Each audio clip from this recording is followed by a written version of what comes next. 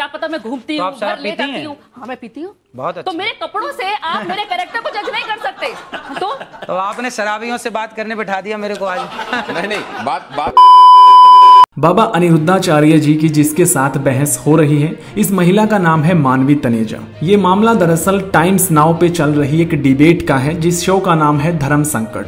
आज से करीब एक हफ़्ता पहले यानी कि 16 सितंबर के आसपास इसे शूट किया गया था। इस डिबेट में कुछ डॉक्टर साइकोलॉजिस्ट और कुछ स्पेशलिस्ट हैं जो डिबेट करने के लिए कई बार टीवी शोज़ पे चैनल्स पे न्यूज़ रूम में अक्सर आते रहते हैं।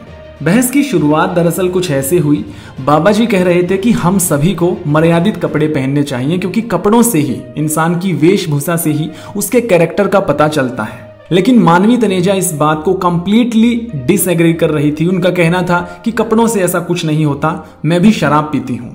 क्या आप मुझे बता सकते हैं कि मैं शराब पीती हूँ? लेकिन इसके बाद बाबा जी ने जो उत्तर दिया है वो आप खुद ही सुन सकते हैं। शराब पीती हूँ। क्या पता मैं घूमती तो हूँ ले पीती जाती हैं? हूँ। मैं पीती हूँ। बहुत अच्छा। तो अच्छा। मेरे कपड़ों से आप मेरे कैरेक्टर को जज नहीं कर सकते। तो? तो आपने शराबियों से बात करने बैठा दिया मेरे को आज।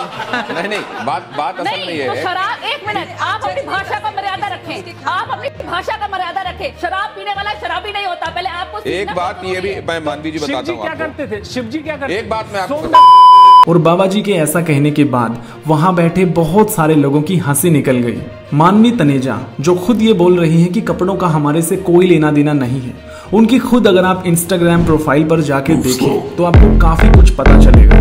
लेकिन उनका ये बयान कि हर शराब पीने वाला शराबी नहीं होता इन दिनों इंटरनेट पे बहुत ज़्यादा वायरल हो रही है जिसकी वजह से ये क्लिप भी काफ़ी ज़्यादा ट्रेंड कर रही है।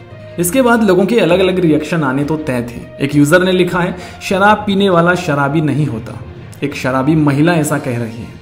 एक और यूज़र ने लिखा है कि बाबा जी की पहली बार एक बात से सहमत हूँ कि कपड़े मर्यादित ही पहनने चाहिए और नशेड़ियों से दूर रहना चाहिए, फिर चाहे वो महिला हो या फिर पुरुष। वैसे दोस्तों, इस डिबेट में आप आखिर किसे सही ठहराते हैं? कमेंट करके ज़रूर बताना।